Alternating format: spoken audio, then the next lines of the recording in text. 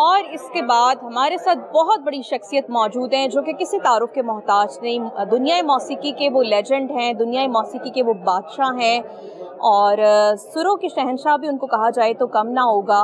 उस्ताद हामिद अली ख़ान साहब और उनके सपूत भी उनके साथ मौजूद हैं नायाब भी और इनाम भी। इनसे सबसे पहले खान साहब से बात कर लेते हैं जो कि हमारे लेजेंड हैं। अस्सलाम वालेकुम। कैसे हैं आप? खान साहब कैसा लग रहा है आज? आप ही के कुलीग को यहाँ पर ट्रिब्यूट पेश किया जा रहा है और ये बड़ी अच्छी रिवायत है। मुझे लगता है कि ये अब सबको कदर आ गई है कि आर्टिस्ट तो बहुत बड़ा है। उसकी बिल्कुल, बहुत बिल्कुल। काम है। सही बात है जो जो लायक हैं इस काम के उनका बनता है। हम्म।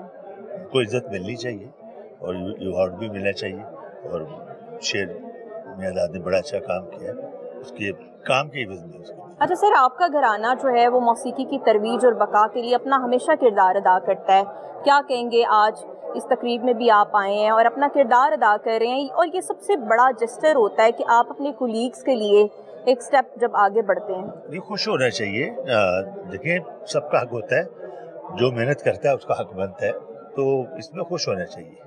और इसमें अल्लाह भी खुश होता है क्योंकि जब अल्लाह किसी को इज़्ज़त देता है तो उसको मानना चाहिए। अच्छा कहा जाता है कि आर्टिस्ट थोड़े से सेंसिटिव होते हैं हसास लोग होते हैं। हाँ जैसे कि आपकी गज़ल भी है कि उदास लोगों से प्यार करना कोई तो सीखे। उदास लम्हों में रंग भरना कोई तो सीखे। सफ़ेद लम्हों। में। तो सर आप भी इसी चीज़ को लेके आगे बढ़ रहे हैं क्योंकि बहुत से मैंने ऐसे देखे हैं आपके काम भी कि आप हर चीज़ में पहल करते हैं। हाँ जी वो मेरी गज़ल बहुत मकबूल हुई है उदास लोग जो भी आपने ज़िक्र किया है। और भी मेरी गज़लें काफ़ी मशहूर हैं जैसे गुजर गया जो ज़माना दिल की बस्ती अजीब बस्ती है मैंने तेरे जा सोना वाला मेरे काफ़ी आइटम मेरे मकबूल हैं। तो अच्छा लगता है मेहनत से ही होता है और सबसे पहले अल्लाह का करो यहाँ पर आप आए हैं ओबियसली आपको ये भी कहा जाएगा कि कुछ जैसे आप उनके लिए कुछ बात करेंगे तो कुछ दो लाइंस गुनगुनाएँगे भी तो हमारे देखने वालों के लिए। दिल की बस्ती अजीब बस्ती है। लूटने वाले को तरसती है दिल की बस्ती। अजीब बस्ती है। थैंक यू सो मच और हमारे साथ नायाब हैं। नायाब से भी बात कर लेते हैं। क्या कहेंगे? आज वालिद साहब के साथ आए हैं। जी बिल्कुल उनके साथ आए हैं और शेर मियाँ दास साहब को ये जो अवार्ड मिला है उन्होंने हमें बुलाया यहाँ पर। बड़ी खुशी की बात है कि अल्लाह ताला ने उनको इस इज़्ज़त से नवाजा और उनकी मेहनत का जो फल अल्लाह ताला ने उनको दिया। बड़ी खुशी की बात है रागा बॉयज़ छाए में अल्हम्दुलिल्लाह आपकी दवा और रागा बॉयज़ के जो दूसरे हमारे इनाम हैं वो भी हमारे साथ हैं। इनाम कैसे आप? अल्लाह का करम आप कैसी हैं? ठीक है? मैं ठीक हूँ। कैसा लग रहा है आज? वालिद साहब भाई सब यहाँ आए और फिर अपने ही कुलीग को आज यहाँ पर आप सपोर्ट करने आए उसकी खुशी में शरीक होने आए बड़ी खुशी की बात है अल्लाह ने उनको एजाज़ दिया है और, और से कहते हैं वो डिज़र्व भी करती है क्योंकि इनका भी फैमिली ऐसे कहते हैं तो वो अपने बुज़ुर्गों की रिवायत को लेकर चल रहे हैं। तो बहुत अच्छा लग रहा है कि इससे कहते हैं कि जो डिज़र्व करते हैं उनको मिलना चाहिए इससे कहते हैं। जैसे वाले साहब ने कहा कि बहुत मेहनत करनी पड़ती है और जो मेहनत जो मेहनत करता है उसी को देना चाहिए। अच्छा तो दो लाइंस कोई हो जाए फिर? अबू के सामने। अबू से हटके हम साइड पे ले जाते मैनू तेरे जया सोना हो रे लबदाना। मैनू तेरे जया सोना हो रे लबदाना। बैठी रवा तेरे कोल रूरज दाना मैनू तेरे जया सोना हो रे लबदाना। बहुत शुक्रिया। और ये सभी खूबसूरत शख्सियात जो हैं, वो इस वक्त हमारे साथ हैं और जो तकरीब के दुल्हा हैं, शेर मियाँ दाद, आज उनके लिए यहाँ पर सब आए हैं। और इन लोगों को भी सलाम है, जो कि अपने कुलीग्स को ऐसे खंदा पशानी के साथ सपोर्ट करते हैं और भी लोगों से आपकी मुलाकात कराते हैं। इस वक्त हमारे साथ और भी बहुत सी शख्सियात मौजूद हैं। किसी तारुफ के मोहताज नहीं, कॉमेडी की दुनिया का एक बड़ा नाम है शाहिद खान साहब। उनको भी हमने देख लिया है और उनसे भी कर लेते हैं बात। अस्सलाम वालेकुम। अरे वालेकुम अस्सलाम जी आपकी दुआ हमने आपको देख लिया। थैंक यू हमारे साथ शाहिद साहब मौजूद हैं। शाहिद साहब बड़ी अच्छी बात है बड़ा अच्छा जेस्टर है कि आप अपनी कुलीग को सपोर्ट करने आए हैं और सब लोगों के साथ आज शिरकत की आपने। कैसा लग रहा है? क्या कहेंगे शेर मियादाद खान साहब के शेर मियादाद साहब जी बड़े पहले का डिजर्व करते थे और जिन जिनको नहीं मिला उनको भी मिलना चाहिए। और मेरी ये गवर्नमेंट पाकिस्तान का बड़ा अच्छा जस्टर है कि शेर मियादास साहब को इस अवार्ड से नवाजा गया और बाकी भी जो डिज़र्व करते हैं जो इसके मुस्तक हैं उनके ज़रूर अवार्ड दिए जाएँ।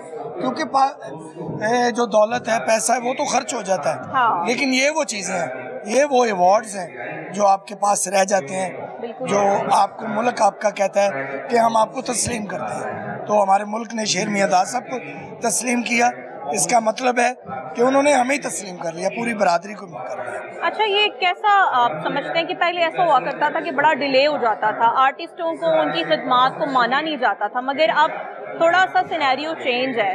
अब लोगों को ख्याल आ गया है कि वाकई जो मेहनत करता है वो इस लायक है कि उसको नवाजा जाए।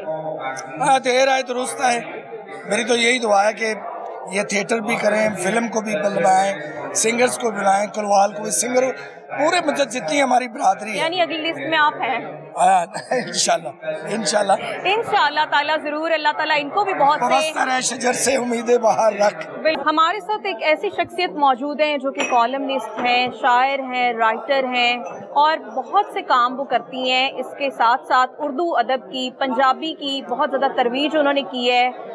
पंजाबी इंस्टीट्यूट ऑफ़ लैंग्वेज की वो डीजी भी रही हैं। बहुत देर अपनी खदमात सर अंजाम देते हुए अब उन्होंने वहाँ से रुखसत ली और अभी नए महकमे की तरफ़ जाएँगी और वहाँ पे भी छा जाएँगी। आप समझ गए हैं मैं किससे आपकी मुलाकात करवाने लगी हूँ। हमारी बहुत ही प्यारी शायरा डॉक्टर सुगरा सदब साहिबा। अस्सलाम वालेकुम। जी वालेकुम सलाम। कैसी हैं आप? बिल्कुल ठीक हूँ। आज आप इस तकरीब में आई हुई हैं शेर मियाँ दाद साहब के लिए और आज सब उनको सपोर्ट करने आए हैं। क्या कहेंगी? कवाली की दुनिया का बहुत बड़ा नाम है। आपको पता है कि सूफीज़म से मेरा एक ख़ास ताल्लुक है। हम्म। मेरी पीएचडी इस मौजू पर है। और फिर सूफिया को जितना कवालों ने प्रमोट किया है और एक तरह से तबलीग की है वो किसी और ने नहीं की। हम्म। तो इसलिए शेर मियादा से मेरी बड़ी मोहब्बत है। मैं उन्हें बड़े पसंद करती हूँ उनकी कवाली को। उनकी शख्सियत बहुत अच्छी है वो इंसान बहुत अच्छे हैं। तो ख़ास कर मैं उनको आज मुबारकबाद देने और उनको उनके बारे में कुछ गुफ्तु करने यहाँ आई आप शायरा हैं तो शायरा से शायरी ना सुनी जाए। हम्म, हम्म। भला ऐसा कहाँ मुमकिन है? जी आ, मैं दो चार शेर आपको सुनाती हूँ। मेरी अभी चंद दिन पहले एक किताब आई है उसमें से एक ताज़ा कलाम गज़ल है उसके कुछ शेर। कि इश्क नु हक दा राह कीता है इश्क हक दा राह कीता है। मैं कोई यार गुनाह कीता है। और अन्ने वाह में दर्द कमाया। अन्ने वाह में दर्द कमाया। प्यार जो अन्ने वाह कीता है। वाह प्यार जो अन्ने वाह कीता है। और दुनिया दे संग निभदी नहीं सी।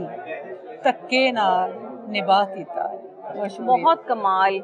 और मुझे ये बताएँ कि ऐसी रिवायात कि कल्चरल जर्नलिस्ट फाउंडेशन ने आज ये अहतमाम किया है तकरीब का, आपको नहीं लगता कि हमारे जो लेजेंड्स हैं, उनकी ज़िंदगियों में उनकी जो खदमात हैं, उनको पहचान देना चाहिए? जी, मैं समझती हूँ कि कल्चरल जर्नलिस्ट जो हैं, ये बहुत बड़े बड़े इन्होंने प्रोग्राम किए माजी में भी और आज का भी इतना आली शान प्रोग्राम उन्हें तरतीब दिया तो इसके लिए बहुत उनको मुबारकबाद पेश करती हूँ।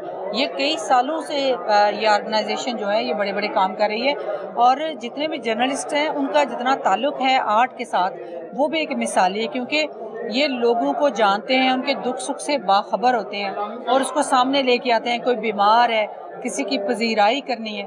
तो मैं बड़ी दुआ करती हूँ कल्चरल जर्नलिस्ट के लिए कि अल्लाह करे वो इसी तरह आर्ट की खिदमत करते रहें और आर्टिस्ट की इज़्ज़त में इजाफा करने के लिए इस तरह की तकरीब का अहतमाम करते रहे। अच्छा डॉक्टर साहिबा वैसे तो आप बहुत रेयर मिलती हैं। आप बहुत बिज़ी शख्सियत की मालिक हैं और वैसे भी बहुत काम अल्लाह ताला ने आपको सौंपे हुए हैं क्योंकि अल्लाह ही के काम होते हैं। तो हमारे जो देखने वाले हैं उनके लिए कोई पंजाबी का शेर हो? जाए सावा विच परोवे माही मैं तेरी खशबोवे माही और तकना केड़ा बहुता सोना। तकना केड़ा बहुता सोना चन दे नाल खलोवे माही ये आपके लिए क्योंकि आप भी चाँद जैसी खूबसूरत बहुत शुक्रिया बहुत शुक्रिया थैंक यू